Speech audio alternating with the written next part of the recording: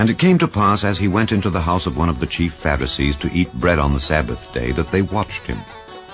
And he put forth a parable to those which were bidden, when he marked how they chose out the chief rooms, saying unto them, When thou art bidden of any man to a wedding, sit not down in the highest room, lest a more honorable man than thou be bidden of him, and he that bade thee and him come and say to thee, Give this man place, and thou begin with shame to take the lowest room.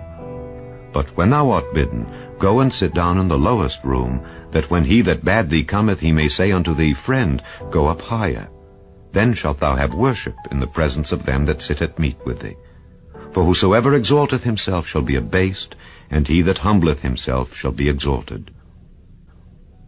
Then said he also to him that bade him, When thou makest a dinner or a supper, call not thy friends, nor thy brethren, neither thy kinsmen, nor thy rich neighbors, lest they also bid thee again, and a recompense be made thee.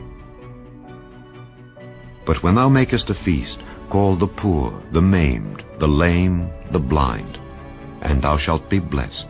For they cannot recompense thee, for thou shalt be recompensed at the resurrection of the just. And when one of them that sat at meat with him heard these things, he said unto him, Blessed is he that shall eat bread in the kingdom of God. Then said he unto him, A certain man made a great supper, and bade many, and sent his servant at supper time to say to them that were bidden, Come, for all things are now ready. And they all with one consent began to make excuse. The first said unto him, I have bought a piece of ground, and I must needs go and see it. I pray thee have me excused. And another said, I have bought five yoke of oxen, and I go to prove them. I pray thee have me excused. And another said, I have married a wife, and therefore I cannot come. So that servant came and showed his lord these things. Then the master of the house, being angry, said to his servant, Go out quickly into the streets and lanes of the city, and bring in hither the poor, and the maimed, and the halt, and the blind.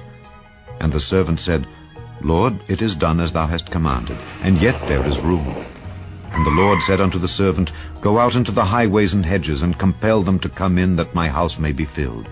For I say unto you, that none of those men which were bidden shall taste of my supper. And there went great multitudes with him. And he turned and said unto them, If any man come to me and hate not his father and mother, and wife, and children, and brethren, and sisters, yea, and his own life also, he cannot be my disciple. And whosoever doth not bear his cross and come after me cannot be my disciple. For which of you, intending to build a tower, sitteth not down first and counteth the cost, whether he have sufficient to finish it? Lest haply after he hath laid the foundation, and is not able to finish it, all that behold it begin to mock him, saying, This man began to build, and was not able to finish. Or what king, going to make war against another king, sitteth not down first and consulteth, whether he be able with ten thousand to meet him that cometh against him with twenty thousand? Or else, while the other is yet a great way off, he sendeth an embassage, and desireth conditions of peace. So likewise, whosoever he be of you that forsaketh not all that he hath, he cannot be my disciple. Salt is good, but if the salt have lost his savour, wherewith shall it be seasoned? It is neither fit for the land, nor yet for the dunghill, but men cast it out. He that hath ears to hear, let him hear.